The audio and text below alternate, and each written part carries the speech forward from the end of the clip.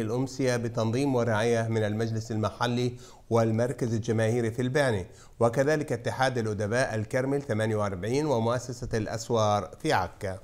وللحديث أكثر حول المرحوم الشاعر حنا إبراهيم إلياس وحول هذه الأمسية ينضم إلينا من البعنة في بث حي مباشر بروفيسور وفاء إلياس. مساء الخير بروفيسور وفاء. مساء النور مساء النور. بداية حدثينا عن هذه الأمسية ماذا تتخلل من فقرات أخت وفاء؟ الأمسية تتخلل تقريبا 15 كلمة من كتاب وشعراء و...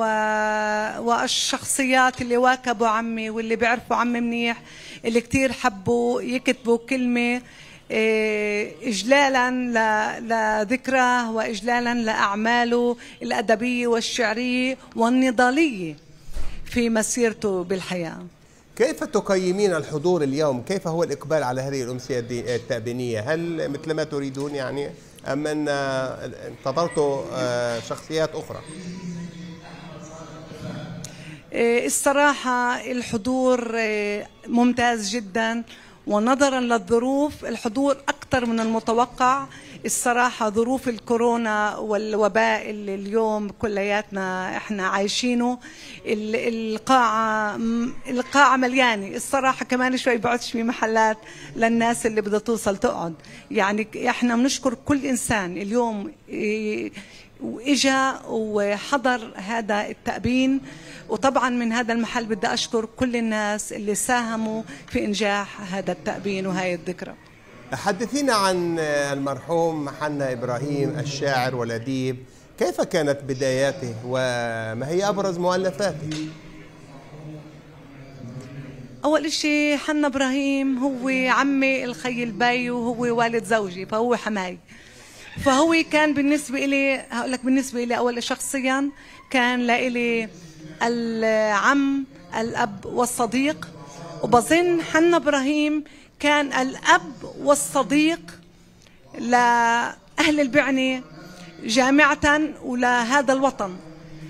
فحنا إبراهيم ولد في بيت فقير جدا. كان إنسان ذكي جدا كان دائما إنسان بارز أساسا بالتعليم. كان بارز بالتعليم دائما كان يحب الكتابة. من من أيامات الثانوية كان يكتب الشعر ويحب يكتب القصص. حياته كانت كتير شاقة وكتير صعبة. ولد زي ما قلت في بيت فقير كان عانى الأمرين. ما كان في إمكانيات شغل وأي إمكانية شغل حاول يوصلها كان يفشل. فكان الوضع مش هوين وآخر إشي حالفه الحظ واشتغل كمدرس في البوليس أيامات الإنجليز. ومن هناك بدي يشق طريقه كرفيق بعدي إقامة دولة إسرائيل. بدي صارت انتسب للحزب الشيوعي. ومن هناك بدت مسيرته النضالية. وطبعا مسيرته النضالية كانت معها مسيرة شاقة جدا بالعمل لأنه كان عمي كل مجالات العمل بسبب النضال مع الحزب الشيوعي تقريبا مقفلة اتجاهه. فعدة فاشتغل بالمحاجر واشتغل بجريدة الاتحاد وش وآخر إشي آخر عمل لإله اللي هذا برفع رأس هذه البلد. اللي أنا برفع رأسي بالبعني بسبب انتخاب حنا إبراهيم كأول رئيس مجلس محلي بما إنه إنسان مسيحي والاكثريه هي إسلام هذا بفرجيك شو هاي البلد وشو معدن هاي البلد. إنه ينتخب إنسان اللي هو من أقلية دينية كرئيس مجلس لهي البلد. طيب على ماذا ركزت؟ طبعا حنا إبراهيم في عدة مؤلفات. نعم أنا أريد أن أسألك عن هذا بالذات يعني عن أعماله الشعرية والقصصية. ما هي القضايا التي كانت حاضرة في أدب حنا إبراهيم؟ أدب حنا إبراهيم حكى قصة شعب. اللي بيقرأ أدب حنا إبراهيم بيقرأ قصة الشعب العربي الفلسطيني. هو يجسد هذا الشعب بقصصه. اللي بيقرأ ذكريات شاب لما يتغرب. حقيقة كثير صعب وانت تقراه تقدر تدشره وانت تقراه كثير بتغضب لأنك بتحس إنك انت جزء من هذا الكتاب. فعمليا حنا إبراهيم جسد ووثق قضية الشعب العربي الفلسطيني بإسرائيل. إيه، سؤالي التالي إيه، أنت طبعا حدثتينا عن سنوات الكفاح والنضال في حياة الشاعر حنا إبراهيم. ما هي أهمية حسب رأيك بروفيسور وفاء أهمية تكريم الأدباء والشعراء في مجتمعنا العربي؟ أول إشي إيه، مفروض فينا نعطي احتراما للأشخاص اللي عم بيعطوا لهذا المجتمع من دون مقابل.